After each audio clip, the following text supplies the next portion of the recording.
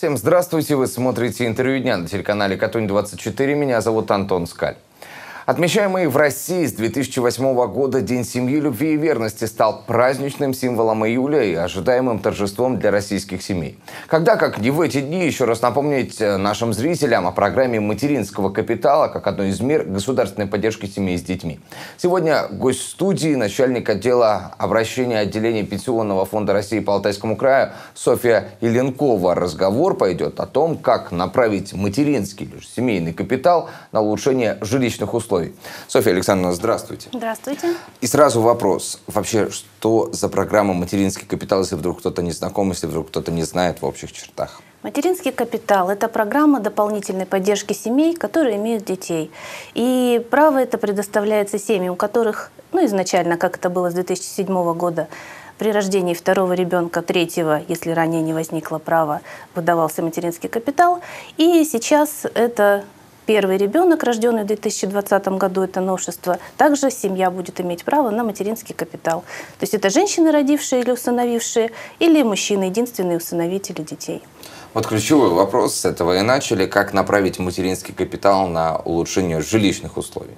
Это одно из направлений, всего их пять. И направить, ну, прежде всего, семья должна знать, что распорядиться средствами можно только по истечении трех лет с даты рождения ребенка, ну, либо его усыновления. Исключение – это направление материнского капитала на уплату первоначального взноса и погашение кредита или займа. Здесь уже три года ждать не нужно, распорядиться средствами можно сразу, как только возникло право.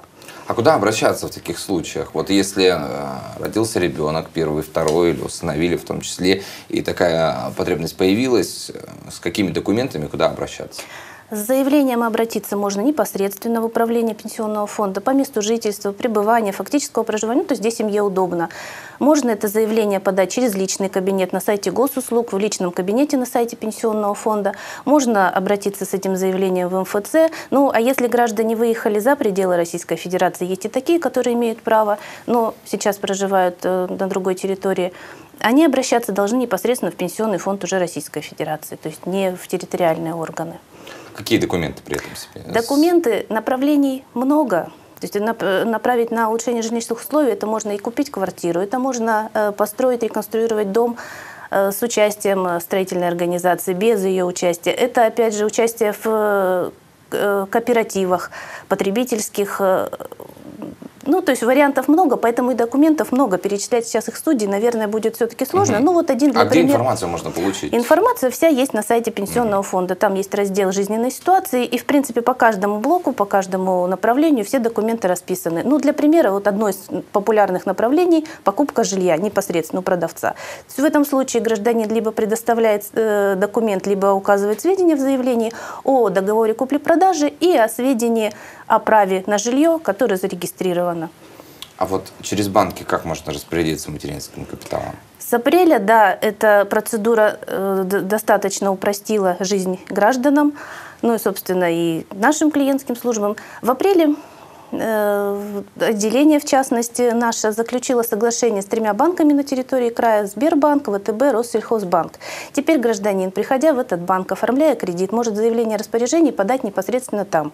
И уже э, банк нам передает в электронном виде заявление, необходимые нам документы. То есть уже второй раз ходить к нам с этим заявлением человеку не надо.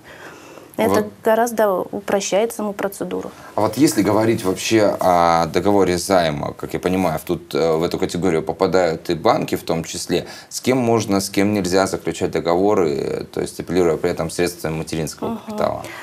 Три категории организации предусмотрены законом. Ну, то есть также можно заключить договор займа с банком, то есть кредитной организации. Следующая категория – это кооператив, кредитный потребительский, сельхозкооператив.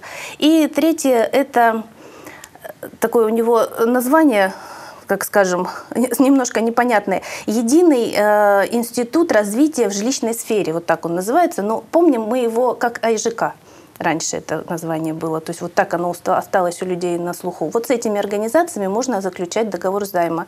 Но что должны люди помнить, если они заключают договор займа? Средства займодавец должен перечислить обязательно только на счет, открытый в кредитной организации. То есть это не могут быть выданы наличными деньги. Угу. Вот То есть вот эти все моменты с обналичиванием и так далее, это Да, вот они как раз здесь уже уйдут, потому что это должен быть счет, который открыт, например, на владелицу сертификата, и именно на него перечисляются эти деньги. Вот если говорить о подводных камнях, а на что следует обратить внимание как раз вот при подаче заявления в том числе? Ну, прежде всего, должна семья помнить, что жилье должно находиться на территории Российской Федерации, не где-то еще. Жилое помещение, которое приобретается, строится с использованием средств материнского капитала, оно должно быть оформлено по закону на всю семью. То есть мама, папа, дети, первый, второй, третий, последующие дети, по соглашению э, семьи. Ну, то есть доли определяют уже они сами. Вот если всю динамику сейчас провести, э, подали заявление, ну, родился ребенок, это как раз первая ступень, подали заявление, в какие сроки э, получают родители средства материнского капитала и а, если можем сейчас озвучить цифры, сколько, в каком диапазоне сейчас варьируется за первого, за второго ребенка? Именно выдача сертификата? Да.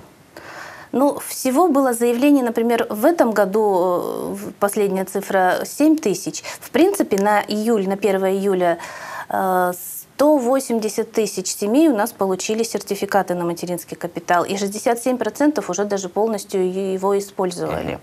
Но если говорить об этом, э, что произошло в этом году, и если говорить именно об улучшении, как вот мы сейчас начали озвучивать, 4 э, тысячи заявлений таких было подано. Из них 3 тысячи – это погашение кредита. Угу. Давайте еще раз повторим цифры, сколько уже получили и сколько было потрачено как раз на улучшение жилищных условий. Получили ну, получили, вот я назвала цифру, чтобы она была масштабнее, 180 угу. тысяч э, семей у нас уже получили сертификат на материнский капитал, и больше угу. половины уже распорядились. Ну, а уже именно об улучшении жилищных условий, если говорить в этом году, то есть всего на улучшение направили 4 тысячи семей. Сертификаты получили, насколько я правильно помню, 7 тысяч угу. семей. Да, даже, есть... даже более, то есть почти 8. Э, то есть это половина направили на улучшение жилищных условий. Даже чуть больше получается да. половины. Что говорить о сроках? То есть вот это получается с 1 июля, и вот сейчас они уже получили или нет? Сроки именно направления средств, угу. да? Э, максимальный срок, который может пройти, это один месяц и 10 рабочих дней с даты подачи заявления. То есть э, выносится положительное решение в течение месяца, и в течение 10 рабочих дней после положительного решения уже средства перечисляются, ну, там, в зависимости от направления продавцу или кредитной организации, или непосредственно семье, если это стройка. О суммах мы можем говорить? Сколько сейчас за первого, за второго ребенка? Зависит от даты рождения ребенка. Ну вот возьмем семью, которая родила в этом году первого mm. ребенка. Сумма у нее будет 466 тысяч рублей. Ну там с копейками. Если эта семья рожда... Э, родила двойню, как вот прям недавно была у нас ситуация, то она будет уже иметь право на сумму 616 тысяч 617 рублей. Если э, был ребенок один рожден, например, да, до 1 января 2020 года, угу. и в этом году у него рождается, у него тоже будет 616 э, тысяч рублей. Если ребенок, ну, то есть, в принципе, право возникло до января 2020 года, то сумма была просто проиндексирована, и вот, ну, если полностью ну, не, использовала, угу. не использовала семья материнский капитал, 466 тысяч рублей. Угу. То есть вот эти две суммы варьируются в зависимости от даты рождения ребенка.